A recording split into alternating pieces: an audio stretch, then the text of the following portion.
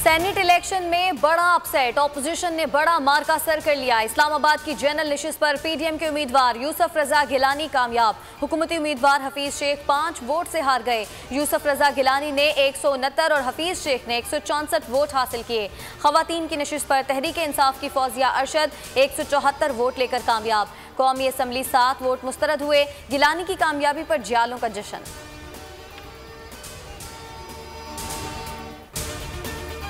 कठपुतली हुकूमत पार्लियामेंट से हार गई। इमरान खान में हिम्मत है तो असम्बलियाँ तहरीर करें।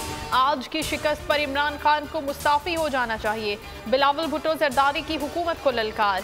मरियम नवाज़ की ट्वीट में वज़ीर आज़म पर तनकीद। कहा, वोट चोर, कुर्सी छोड़ दो। तुम्हारे पास अब वज़ीर आज़म हाउस पर काबिज रहने का कोई जवाब नहीं।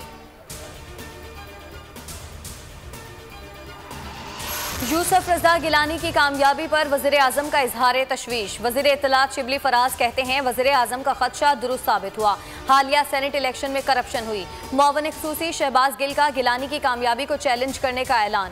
फैसल जावेद ने कहा कि इलेक्शन में हॉर्स ट्रेडिंग की गई।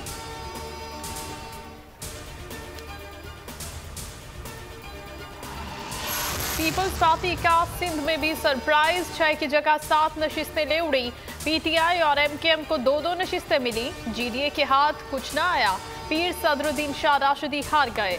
बलोचिस्तान की बारह नशिस्तों में से आठ पर बीएपी और हिमायत याफ्ता उम्मीदवार जीत गए। ऑपोजिशन को चार नशिस्तें मिली। पीडीएम के अब्दुल गफूर हैदरी, मोहम्मद कासिम रोजो कामरान मुर्तजा और नसीमा एहसान कामयाब। खैबर पख्तूनख्वा से तहरीक इंसाफ ने बारह में से दस नशस्तें जीत ली। पीटीआई के लियाकत तराकई मोहसिन अज़ीज़, हुमायूं खान, फैसल सलीम और दोस्त मोहम्मद कामयाब। खवतिन की नशस्त पर सानिया निश्तर और फलकनाज चित्राली कामयाब। अकलीती नशस्त पर गुरदीप सिंह जीत गए। जे यू आई के मौलाना अताउर रहमान जीत गए। ए एन पी के हिदायतुल्ला भी कामयाब।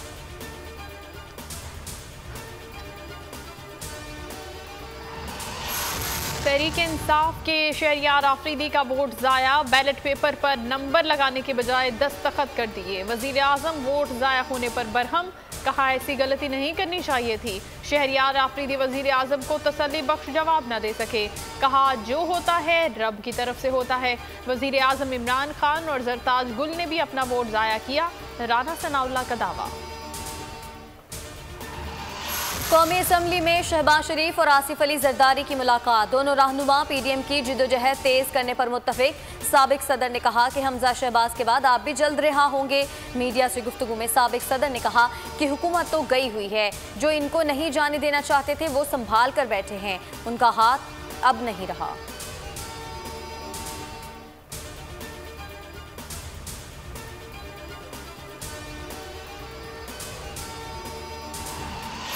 मुस्ताफ़ी होने के बाद फैसल आदा को नहल करार नहीं दिया जा सकता। इलेक्शन कमीशन में जमा कराया गया बयान हल्फी बज़ाहिर झूठा है। इस्लामाबाद हाई कोर्ट ने फैसल आदा नहरी केस का फैसला सुना दिया।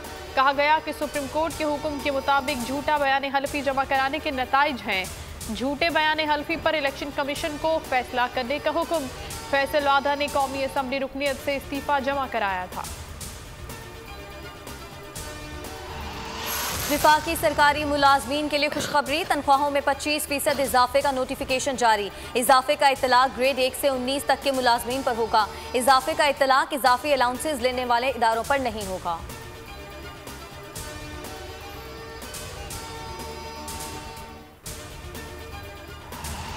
और पी एस एल कमाल का कराची किंग्स ने पिशावर जलमी को छह विकेटों से हरा दिया। बाबर आज़म सतहत्तर रन मोहम्मद नबी पैंसठ रन बनाकर नुमाया स्कोरर रहे।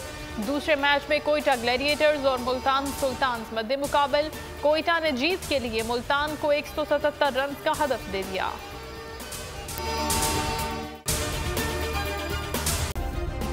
सब्सक्राइब करें और बेल दबाएँ ताकि कोई खबर रह न जाए।